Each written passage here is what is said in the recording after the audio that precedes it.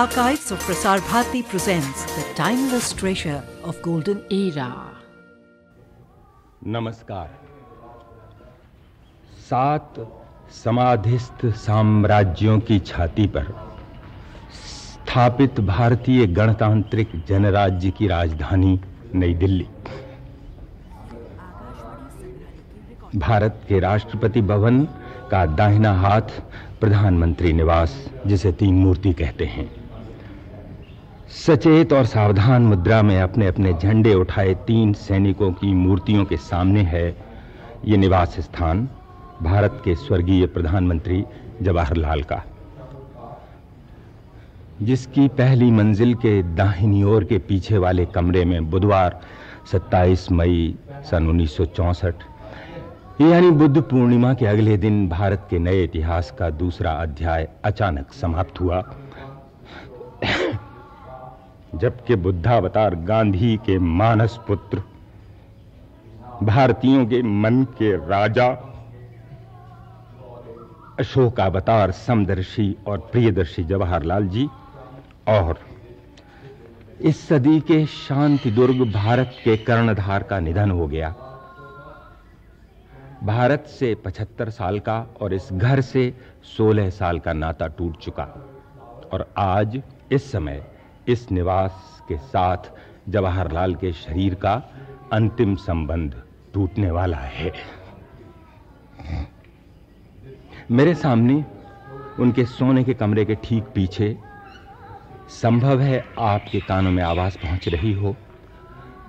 पीछे, कमरे के पीछे बागीचे के एक छायादार अमलतास के पेड़ की छाया में एक पीले रंग के सोफे पर कुशलता से गढ़े हुए तांबे के एक बड़े घट में जवाहरलाल के अस्थि अवशेष हैं। और इस घट के पीछे आसपास थे कल तक सात सादे तांबे के घट, जिनमें उनकी चिता भस्म थी। सब के सब घट के सरिया रंग के वस्त्रों में लिपटे हुए थे। उनकी गर्दनों में अनगिनत गुलाब के फूलों की मालाएँ और आसपास न जाने कितने गुलाब बिखरे पड़े थे। गुलाब। जी हाँ गुलाब। केवल गुलाब।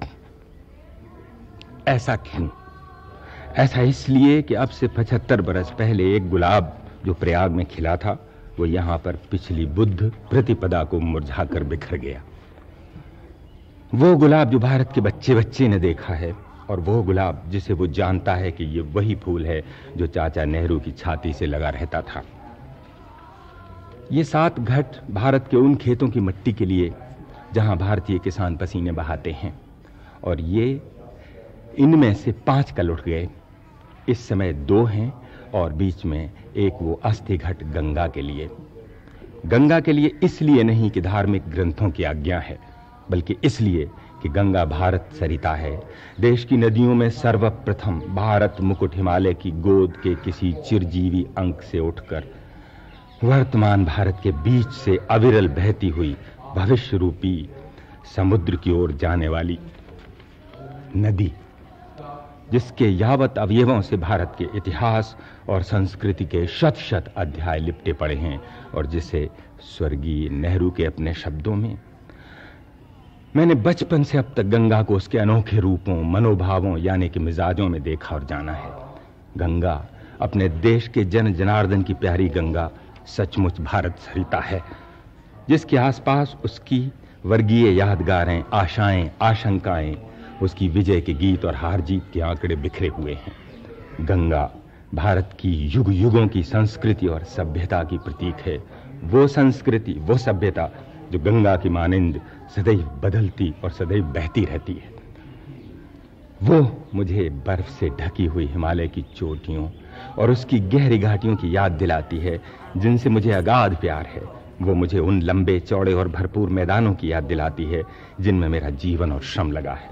गंगा, सवेरे के समय मुस्कुराती, इठलाती, नाचती गंगा और साँझ की छायाओं में सांवली और खिली कली की मानिंद, रहस्यमयी दिखने वाली गंगा, जाड़ों में दुबली, मंद और सुंदर धारा वर्षा ऋतु में विशाल काय दहाड़ती हुई इतनी चौड़ी गोद उसकी जितनी की समुद्र की, और लगभग समुद्र जितनी संहार शक्ति वाली ये गंगा मेरे लिए सदा एक प्रतीक रही है, सदैव एक स्मृति रही है भारत के अतीत की, जो हिमालय से उठकर वर्तमान, यानी भारत में से बहती हुई महान भविष्य के समुद्र की ओर बढ़ रही है।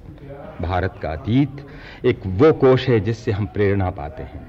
मेरे इस विश्वास की और भारतीय संस्कृति की विरासत के प्रति मेरी सच्ची भक्ति की साक्षी है, मेरी ये प्रार्थना कि मेरी चिताभस्म में से एक मुट्ठी भर इलाहाबाद में गंगा नदी की भेंट कर दी जाए, जिससे वो उस महासागर तक पहुँचा दे, जिसकी लहरें भारत के तट का मुँह धोती रहती हैं।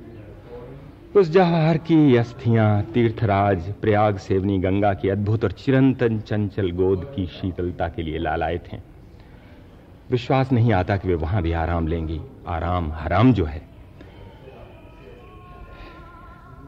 सो वे तो आगे बढ़ेंगी उस समुद्र की ओर जिसका नाम भविष्य है, यानी मुस्तकबिल, और जिसकी लहरें निरंतर भारत का तट, धुला मज़ा और निर्मल रखेंगी। इस समय सवेरे के पौने छह बजने में क्षमा करें, मैं घड़ी गलत देख गया।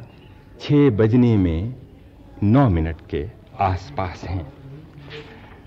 यहाँ की उस समय की रूपरेखा यह है।